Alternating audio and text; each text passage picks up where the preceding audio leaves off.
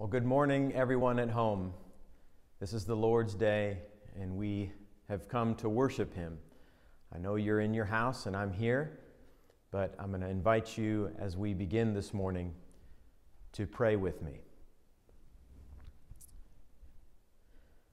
Our God and our Creator, we open up your word that is true and that refreshes our soul and we treasure it, Father.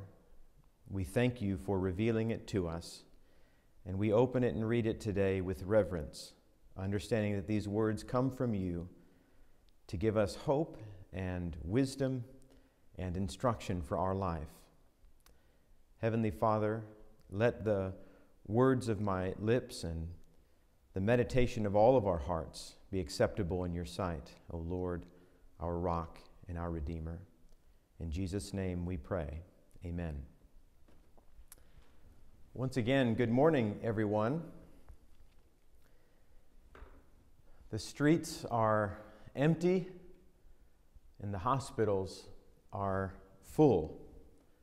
And the church is distributed into households.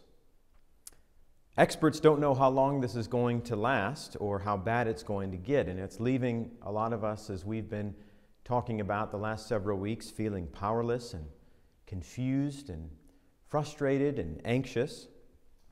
How should the people of God respond in times of crisis? I want to begin by saying that there are two extremes, there are two tendencies that we may have. And the first one is to offer explanations for why things are the way they are. And really, that's not our place to do that. It's not our place to explain what's happening and why, because we don't always have the answers why.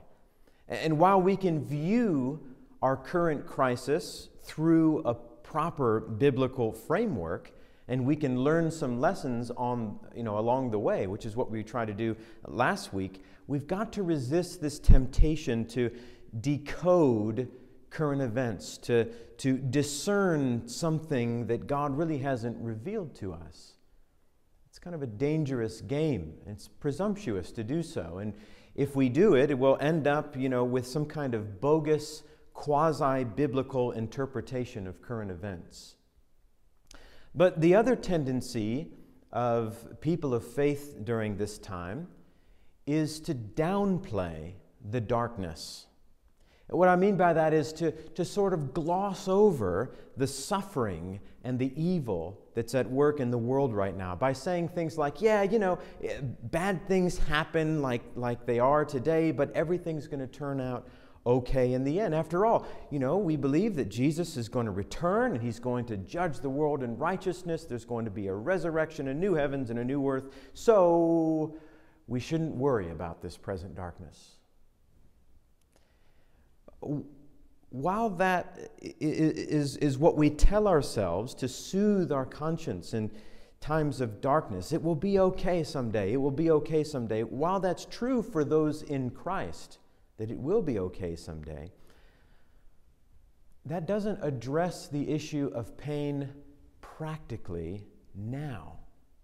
Like, what do I do with my anxiety now? What do I do in this present darkness now?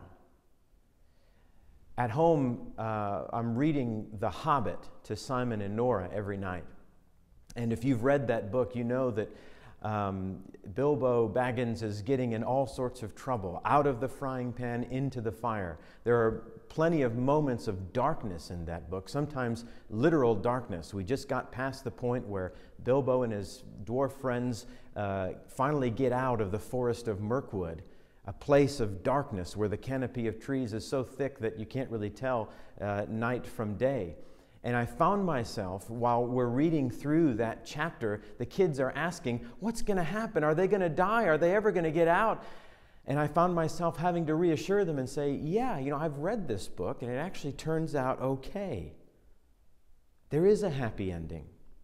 And we, we do need that assurance. But how do you speak that future hope into a person's life who's suffering now without cheapening their suffering, without trivializing their pain. You know, to someone who's suffering or who, who's, who's caring for a loved one who's suffering, and just to say, hey, don't worry about that, everything is going to turn out okay in the end, that comes off as very hollow, very trite, very unmerciful. And I've actually heard some very shallow expositions of the book of Job that basically do that. You know, sure, Job lost everything. Yeah, we've read Job chapter 1. He lost his livelihood and he lost his family and he lost his health, and that's all terrible. But have you read chapter 42? Everything turns out okay in the end. He's got loads of donkeys and camels and he's got three beautiful daughters. What more do you want? Well, if that's the way we're supposed to read the book of Job, then why did God give us 40 chapters in between? What are we supposed to do with, with those chapters where Job is, is wrestling with his grief, where he's answering arguments, where he's trying to hold on to his integrity as his well meaning friends are accusing him? That's a bit like saying, we don't need to worry about Jesus' suffering. We don't need to worry about Jesus praying in anguish in the garden. We don't need to worry about the shame of, of you know, the crucifixion and his death and his burial. After all, he was raised from the dead. Well, that's missing it by a long shot, isn't it? When people are suffering, and people are, people are in hospital beds and they can't, they can't breathe, and their family can't be with them to hold their hand and to kiss them on the forehead and to pray with them and give them comfort. And people are passing away, and we can't even properly grieve over them because we can't have a proper funeral. When people are suffering, we can't respond simply with talk of happy endings in a way that, that invalidates their, their sorrow. Rather, what we, what we do as the people of God is do what Paul told the Thessalonians to do. We grieve but we don't grieve the same way as people who have no hope. We grieve with hope. We enjoin those two things together. We don't throw out the grief and hold on to the hope. No, no. We grieve with our hope. Friends, it's not wrong, it's not unfaithful to cry out against the evil in the world to God in prayer there's a word for that. It's called lamentation. And it's through the process of lamenting that we discover what Jesus meant when he said on the Sermon on the Mount, Blessed are those who mourn, for they shall be comforted.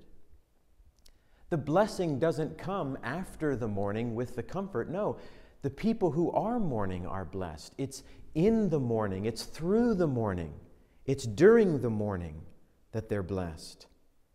So, lamentation is a way of praying that acknowledges our pain and that calls upon God to do something, and it leads us through the darkness to the light. And we find this discipline at work in the book of Psalms. You might open your Bible to the book of Psalms here in just a moment. We're going to read from chapter 32. If you have your Bible handy at home, Psalm 32. The Psalms are the Bible's hymn book.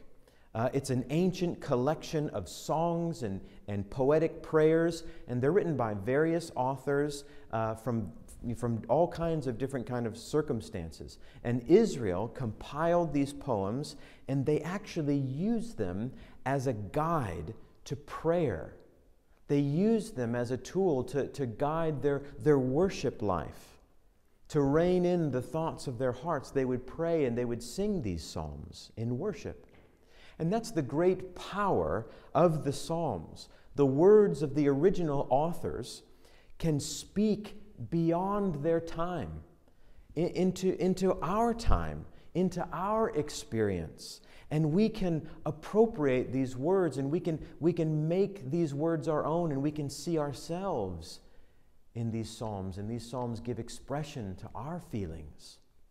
And there's a great diversity of style and tone in the Psalms. There's Psalms for all sorts of occasions Psalms of praise and worship, Psalms of lament, Psalms uh, of, of, of, thanksgiving, psalms where, where there, there are vows being made to God, but there are 150 psalms in the Old Testament. And scholars say, some scholars say that there are, out of 150, 60 of them can be classified as psalms of lament. Now, compare that with our modern church hymnals today. And there's nowhere near that proportion of laments in there, if there are any at all in some hymnals. And that's a real shame because the Psalms were meant to be used. See, lamentation is a discipline through which God's people can process their grief. It's a tool to help us cope with tragedy in healthy, godly ways because suffering is inevitable. And we're not just preaching this sermon because of the current crisis, but if, if, if you're not suffering now and you don't have a loved one who's, who's going through some sort of pain, it is inevitable. In Shakespeare's uh, Macbeth, it says, Each new morn, a new widow mourns. A new widow howls, a new orphan's cry, new sorrows strike heaven upon the face. Each new morn, new widows howl, new orphans cry, new sorrows strike heaven upon the face. Suffering is tragic, but suffering is part of living in this broken world. Look at what David says in Psalm 32 in verse 10. Psalm 32 in verse 10, David says, Many are the sorrows of the wicked. Sometimes through wicked and rebellious choices, they, they, they bring sorrow into their own lives. But look at what David says in Psalm 34 in verse 19. Many are the sorrows of the wicked, but Psalm 34 in verse 19 says, Many are the afflictions of the righteous. We can't escape pain. This is part of, of, of living as, as broken humans in a world broken with sin. Now, in the past, people understood this. In past generations, people understood life is nasty, it's brutish, and sometimes it's short. They, people knew famine, disease, war, they could sweep through their country at any time. But today, in our modern uh, comfortable, high tech, medically advanced, globally connected world, we read our history books and, and, and we say in our arrogance and in our ignorance, our world will, would never allow something like that to happen. I know that's true for me. I, have said things like that. I remember back when, when 9 11 happened. I mean, that, that shook my worldview. I said, oh, this is the world we're living in where things like this are possible. And I think we're finding that truth again today. And how foolish our thinking is. This is the world we're living in. How do God's people respond to that?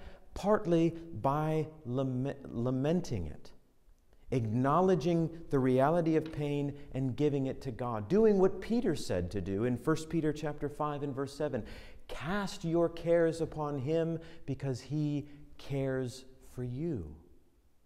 Doing what the Apostle Paul said to do to the Philippians in Philippians 4 and verse 6 Be anxious for nothing, but pray about everything. Pray with thanksgiving in your heart, but let those supplications be made known to God. Lament, go and give your petition to God, ask God. And then, through that process, that peace of God that surpasses all understanding will guard your hearts and minds in Christ Jesus. What is lament? Lament is pouring out our pain. Lament gives voice to our frustration, to our complaints, to our confusion about why things are the way that they are. Look at Psalm, let's look at a couple of examples of this. Psalm 6 in verse 2. Psalm 6 and verse 2 says, Be gracious to me, O Lord, for I am languishing. Heal me, O Lord, for my bones are troubled. Uh, look at Psalm 10 in verse 1. It says, Why, O Lord, do you stand far away? Why do you hide yourself in times of trouble? How about chapter 13 in verse 1? How long, O Lord? Maybe you're praying that prayer. How long will you forget me forever? How long will you hide your face from me? And of course, who can forget the haunting words of Psalm 22? Words in which Jesus, as he is dying in anguish on the cross, reached back into history and pulled right into his experience and appropriated and fulfilled these words My God, my God, why have you abandoned me? Why are you so far from saving me from the words of my groaning? So, this is the language of emotion. This is giving expression. This is telling God how we feel in our pain. It's not merely complaining to God. It's, uh, you know, uh, Israel in the wilderness, they were complaining that God you know, wasn't feeding them. They, they, were, they were complaining about not having water, not having food, uh, you know, wandering around and getting lost. And they assume the worst about God in the wilderness. At one point in Exodus chapter 17, they say, What have you brought us and our children out here to do? Do you, do you mean to kill us? You want to kill us out here, God? The very people that God rescued from Egyptian slavery, provided for in the wilderness, is guiding to a promised land that He would give to them. The very people that He loved and He made promises to paint Him as the worst kind of villain.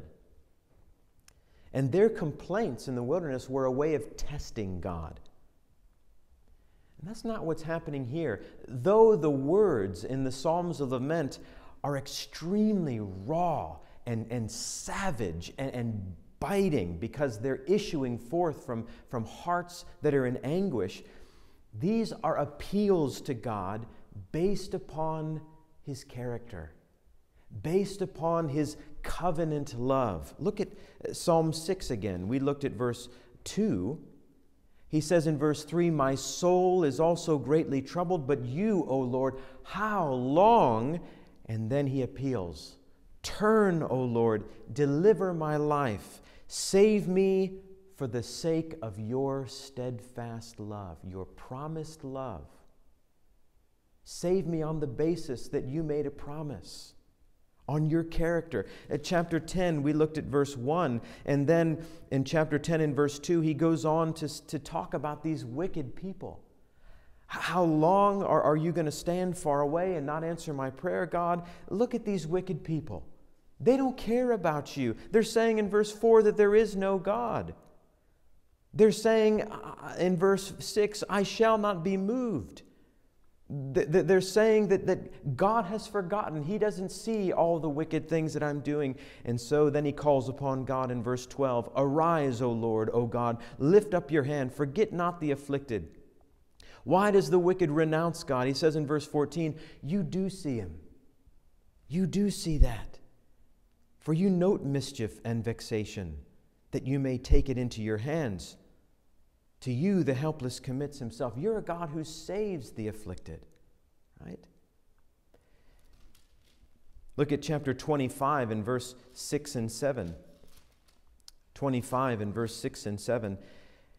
David says, Remember your mercy, O Lord, because you're a merciful God, and your steadfast love. You're a God who keeps his promises for they have been from of old. Remember not the sins of my youth or my transgressions. According to your steadfast love, remember me, for the sake of your goodness, O Lord. So Israel in the wilderness was accusing God, was maligning his character, was painting him as a villain. But the Psalms of Lament are in pain, but they're appealing to God based on confidence in his character, that he's a God who keeps his promises that He's a God full of steadfast love. And that's why most of the Psalms of Lament come out in the light by the end. And so this is providing for us, lamentation, a pathway to our hope. Psalm 22 is a great example of that. It shifts in the middle of the psalm from a tone of abandonment to a victorious tone of, of, of deliverance. Psalm 13, which we read the first couple of verses a moment ago, shifts from, from saying, How long, how long, how long, how long in verse 1 and 2 to the appeal in verse 3 and 4. And then he resolves to praise God in verse 5 and 6. But I have trusted in your steadfast love. My heart shall rejoice in your salvation. Most of these psalms of lament end with a fresh assurance of God's deliverance and salvation. They don't try to explain the trouble, instead, they provide assurance through the trouble. However, not all of them do that. Some psalms, in fact, go the other way.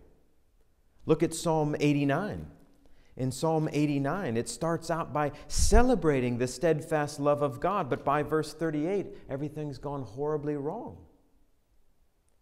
But even Psalm 89, it ends hopefully enough. But look at the one before that, Psalm 88. It starts out in misery, and look how it ends in verse 19. It ends in darkness. My, my only companions, my only friends are darkness. Same thing with Psalm 39. It's another one that starts off with a, with a hopeful tone, but then it ends in despair. Look away from me that I may smile again before I depart and am no more. So, what do we make of these Psalms? The point of lament, then, is not just to, to act as an outlet for our frustration and our troubles and our loneliness and our inability to comprehend what's going on, nor is it just a bridge to bring us uh, you know, out of the darkness into light. They help us understand another great mystery of the Bible, and that's that God also laments. Some people don't understand that about God. They, they, they like to think about God as above all that. He's all powerful and all knowing, and so we have this picture of God, you know, sitting calmly in heaven and he's just unaffected by the coronavirus. That's just not true. For instance, God in Genesis chapter 6, when he looked down upon his beloved creatures, humanity, and they were tearing themselves apart with violent wickedness, the Bible says that he was grieved to his heart.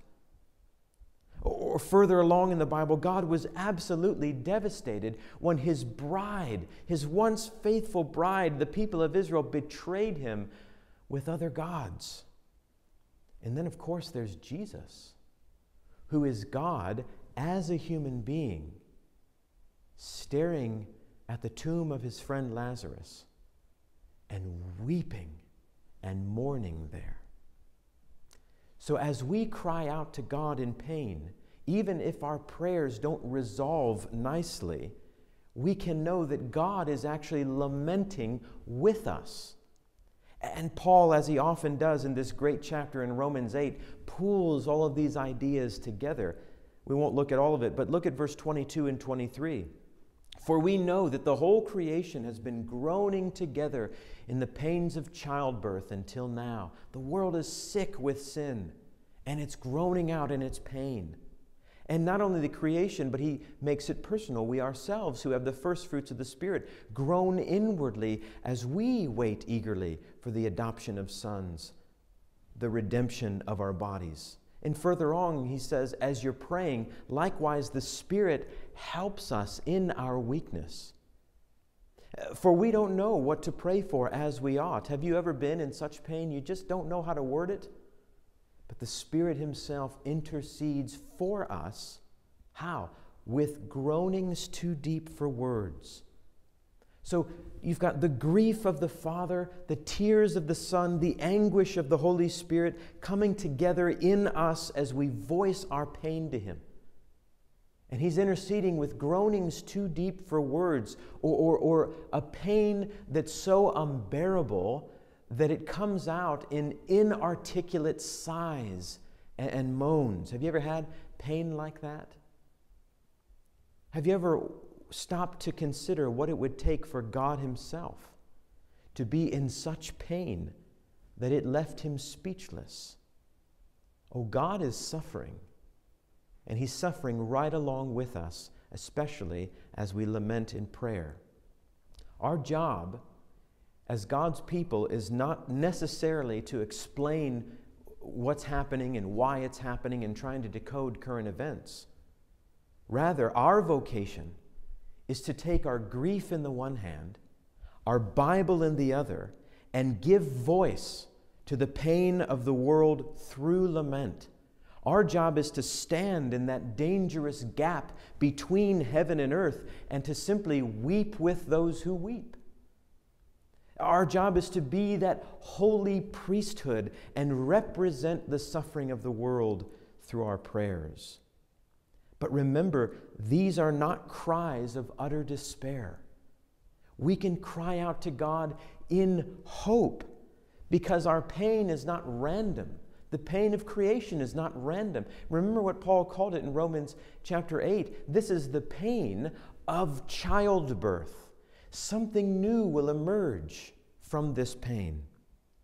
And we are trusting that God will someday make things right. And we're appealing to God in our pain, just like the psalmist, based upon God's promise to do that. His covenant love, His steadfast love. And we can be confident in that love because that love was poured out to us, was made real and certain in the person of Jesus as He died on the cross for us and as He was raised in victory, never to die again. And now, as Christians, alive in the Spirit, praying as we cry out through that shared pain with God in lamentation, we become, even in your isolation, even in, in your loneliness, even in your own homes, as you cry out, you become human temples where God dwells within us to bring his healing love to bear upon the world. How does prayer change the world? Well, God knows the many thousands of ways he can collect our prayers and, and he can answer those prayers. But something else happens when, when you and I begin to pray this way and lament this way. We actually are getting in touch with the nerve center of creation and the present ugliness of our world. And we start recognizing that we're not the only people suffering here.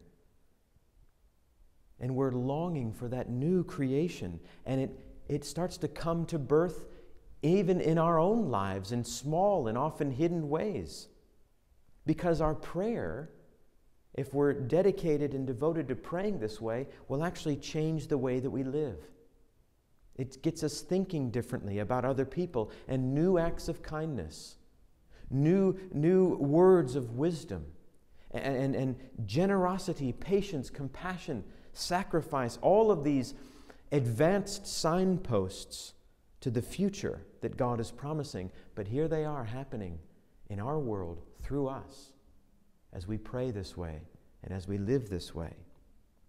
The narrative of the Bible, which has Jesus at its center, is not simply pointing to a trivial, happy ending where our suffering won't matter because it all works out in the end. And our suffering, present suffering now, just sort of gets swept under the cosmic rug and forgotten about.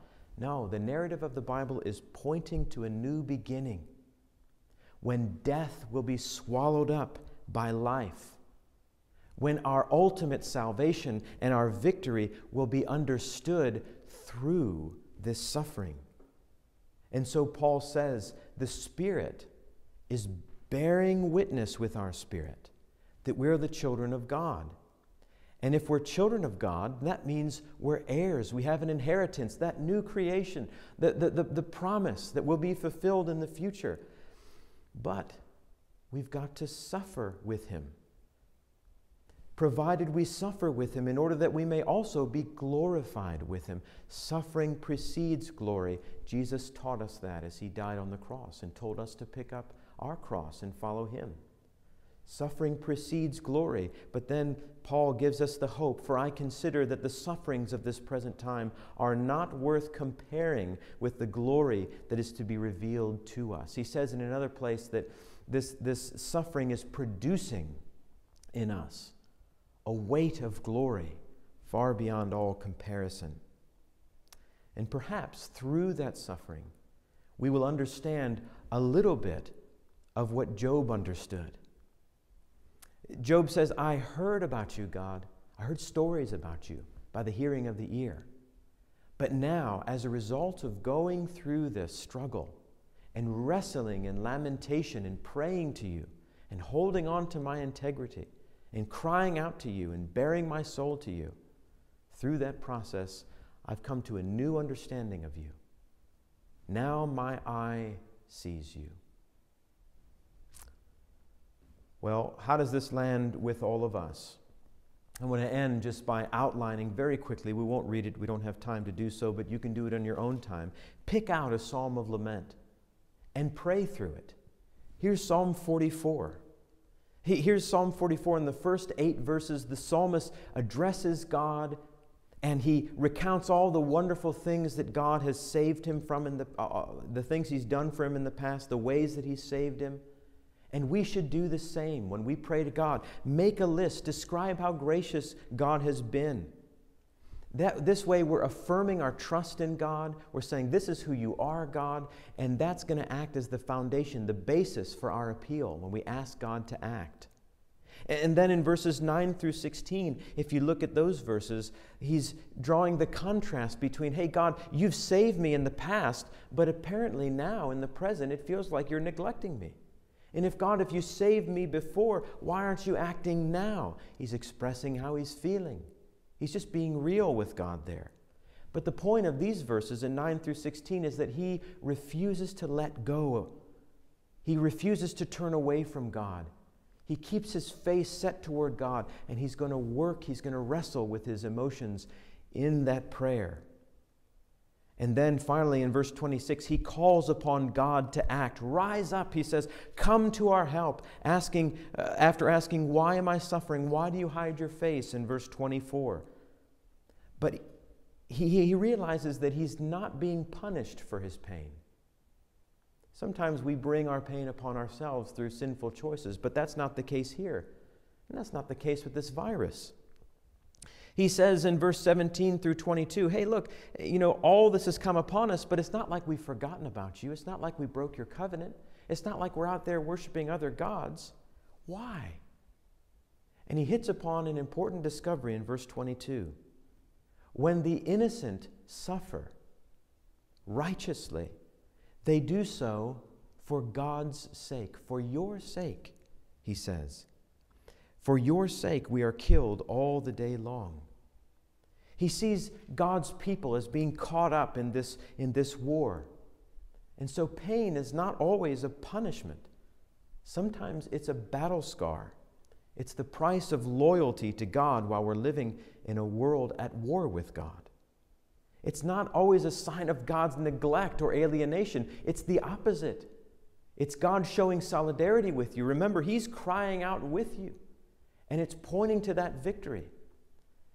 And then, of course, Paul in that beautiful chapter. Paul, of course, is living, uh, you know, uh, uh, hundreds of years after this, and he's got more pieces of the puzzle to work with. And he quotes verse 22, not with the despairing tone, not with the more than defeated tone of Psalm 44, but with the conviction that in all of these things, we are more than conquerors through him who loved us. You know, in this psalm, he says, Awake in verse 23. Why are you sleeping? God may appear to be sleeping. He may appear to be inattentive to our pain, but behind the appearance is the reality. It's a bit like Jesus sleeping on that boat. And then the disciples come to him in the midst of the storm. Don't you even care? We're dying out here, Lord. And he gets up and rebukes the waves. Why did you doubt? You of little faith. Behind the appearance is the reality that God is actually crying out in pain right along with us.